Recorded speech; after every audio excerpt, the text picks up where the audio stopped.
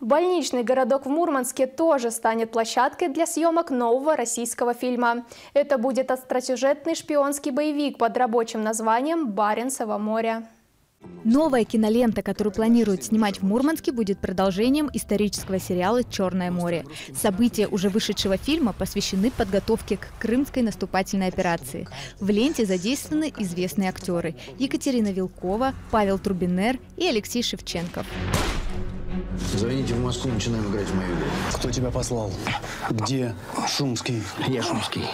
Позывной Рита. Ну что, может, поговорим? События нового сезона, который получил название «Баренцево море», разворачиваются в 1944 году. По сюжету, в одном из крупных арктических портов, через который СССР получает помощь от союзников по ленд-лизу, планируется диверсия. Главные герои киноленты должны спасти порт от планов врага. Вообще-то, если я сам отработал на телевидении 15 лет, на ТВ-21, вы знаете это, наверное, да, режиссером телевидения, я думаю, это будет прикольно, интересно очень. Для меня да.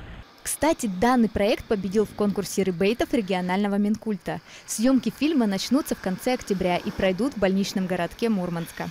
По мнению некоторых экспертов, это место отлично передает дух военной эпохи. И судя по сообщениям в соцсетях, кинокомпания планирует набрать массовку среди мурманчан. Мы решили поинтересоваться у местных жителей, как они относятся к таким творческим процессам на их территории. Да, это хорошо. Вот здесь наша военная дорога, ну, на больничке.